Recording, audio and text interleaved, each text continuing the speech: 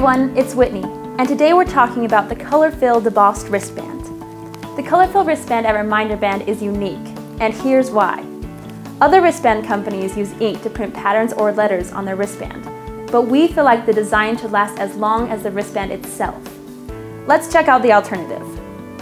Ink printed bands are just printed on the surface and tend to wear away over time or with water, but Colorfill silicone is there for the long haul.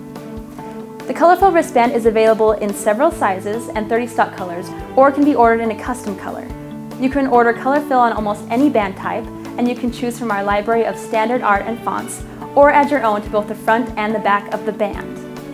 Check out our intuitive design tool at reminderband.com and see how easy it is to visualize, create, and order your own custom wristbands.